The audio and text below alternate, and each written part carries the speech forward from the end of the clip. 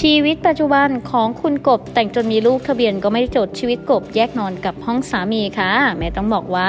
สำหรับชีวิตสามีภรรยาเนี่ยนะคะคู่นี้เขาก็เป็นอีกหนึ่งคู่ที่น่ารักจริง ๆ แล้วค่ะ วันนี้จะพาทุกท่านไปติดตามสำหรับสาวกบสุวรรณันนางเอกสาวสวยแจ้งเกิดจากผลงาน ซึ่งเธอเองเป็นเจ้าหญิงของวงการ ตัวแม่ของวงการเลยละค่ะนางเอกเบอร์หนึ่งของช่อง ไม่ว่าจะเป็นการแบบว่าเรียกแบบไหนเนี่ยเธอเองก็ทำให้ได้เห็นมาหมดครบทุกบทบาทกันแล้วละค่ะ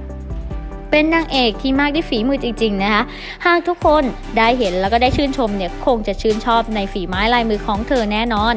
ซึ่งก็ไม่แปลกใจเลยเลยค่ะ เธอถึงกลายเป็นตัวแม่ระดับแถวหน้าของวงการ มีผลงานระดับสุดยอดมาแล้ว และปัจจุบันนี้นะคะทางด้านของคุณกบเองเนี่ยเขาแต่งงานกับทางด้านของคุณบุ๊กดันุพรค่ะ มีทายาทด้วยกันแล้วสองคนคือน้องนัดดา และน้องนัดดนนั่นเอง เป็นเด็กที่น่ารักมาก ๆด้วย ซึ่งความสามารถเองนั้นก็เก่งเกินวัยเลยละค่ะ แล้วก็เป็นครอบครัวที่สนับสนุนลูกๆดีมากๆ ซึ่งก็มีเหตุการณ์สำคัญนะคะสำหรับการใช้ชีวิตคู่ค่ะ หนุ่มบุ๊กเองเนี่ยทั้งสองเคยแยกห้องกันนอนด้วยนะคะ เนื่องจากสาวกบเธอต้องการจะนอนกับลูกๆของเธอทำให้เธอต้องแยกนอนกับสามี ซึ่งหนุ่มบุ๊กบอกว่าเข้าใจมากๆ รวมถึงทั้งสองคนเนี่ยไม่มีการจดทะเบียนสมรสกันก่อนหน้า เพราะหนุ่มบุ๊กเองต้องยื่นแสดงทรัพย์สินของเขาเนื่องจากเขาทำงานเป็นนักการเมือง ก็เลยต้องบอกว่าเป็นอีกหนึ่งครอบครัวที่เขาสุดยอดและน่ารักมากๆค่ะ